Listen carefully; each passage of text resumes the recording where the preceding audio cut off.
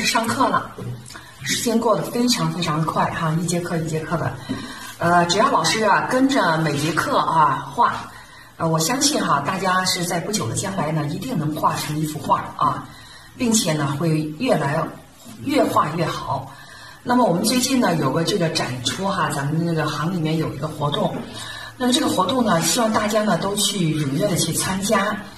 其实你不管你就说你不要在意你画的不好啊或者什么的，因为你是在学习的这个过程中嘛，呃，那么这个这次呢，就是每一次的展览嘛，呃，都是一次就是可以说是考考验吧，也是一次锻炼啊，是机会啊，是锻炼自己的机会。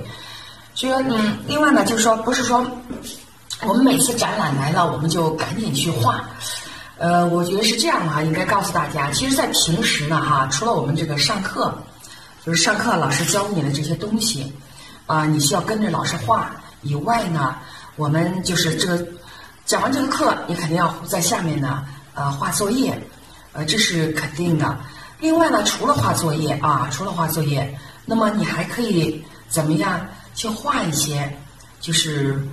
比如你喜欢的啊，就是山水画。或者是花鸟画，你呢？就是作为这个老班的那个呃老师哈，老班的，你可以这样。可能咱们搞创作呢，有一定的难度，但是呢，我们不妨可以这样去试试，去平时呢是这样去组合。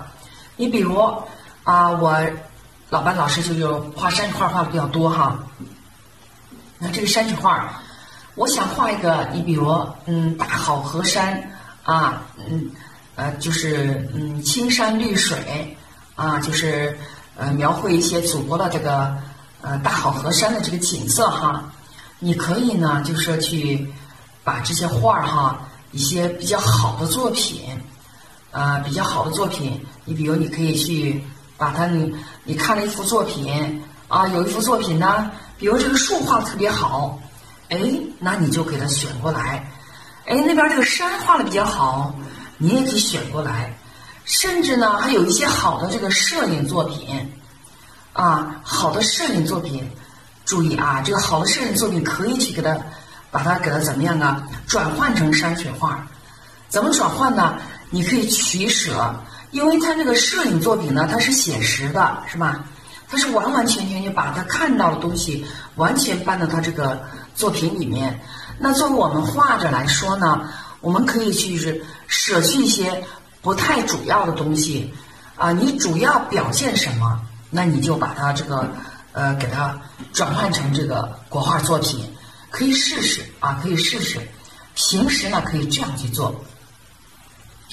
再有呢，平时呢还可以去看一些作品，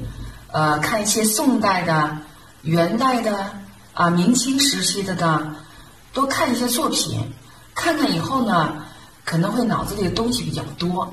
啊，这是老班的这个呃老师啊，嗯，在平时呢，呃，除了画咱们这个老师讲的这些作品哈，你还可以这样做。那么新班的老师呢，目前你要做的是什么呢？呃，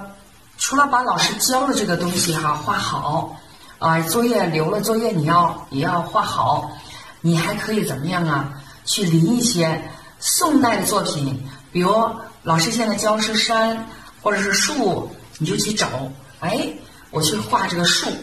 啊，这个我看到一幅非常这个，比如宋代的一幅作品的树比较好，啊，比较生动，我喜欢，那你就把树专门领起来，或者你把这个石头专门领起来，